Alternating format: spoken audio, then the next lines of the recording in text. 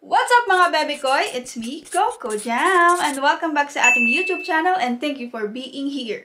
So for today's video mga bebe koy, nakita niyo naman sa title, mag-mini try-on haul tayo ng Shein, Shein, Shein, or whatever kung anong tawag nyo. Sabi kasi nila Shein daw, kasi she, girl. Sa bagay, puro pambabae naman yata lahat ng binibenta dito. Puro pambabae ba? Hindi ko na-check. Anyway, let's go back to our vlog. Wow. So, ayun na nga mga bebe ko. Mini haul lang to. Dahil apat lang tong nabili ko. Sa Shein. Ayan. Apat lang. So, ito nga. Hindi siya naka-Shein na plastic. Shein, bakit? Char. ito siguro ibang ano yan. Pero nasa Shein yan mga bebe ko. Ayun nga. And, gawa mo na tayong thumbnail.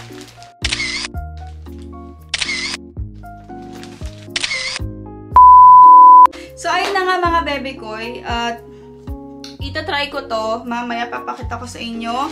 At, iba-iba yung sizes nito. Kaya, so, order din ako nito. Gusto kong malaman talaga kung ano ba yung size ko. So, nalaman ko na iba-iba talaga yung size niya. Tulad dito sa Japan mga bebe ko, medium ako usually, pero minsan small. Pero madalas talaga medium kasi ayoko nang masyadong masikip, ayoko din na masyadong maluwag. So, sakto lang yung medium sa akin. So, so, nagmamadali ako magsalita.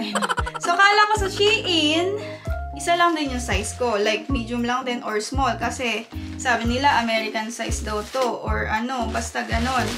So, tulad nito, yan. XS siya mga baby ko. Kita nyo ba? Yan. XS siya. So, extra small. So, may mga nakalagay talaga doon yung waistline mo, yung ano mo, lahat. Yung sukat ng katawan mo talaga dapat alam mo para ma-check mo kung anong size doon sa damit na gusto mo. Anyway, lalagay ko naman lahat sa gilid pag trinay ko yung mga size niya, saka yung price, saka yung pangalan ng damit. Para hindi humaba tong ano natin, try on haul natin. Okay? So mga baby ko, wag na natin patagalin tong video na to. Let's go! Let's go! So mga baby ko, huwag na natin patagalin tong video na to. Let's go with our mini Shein try-on haul.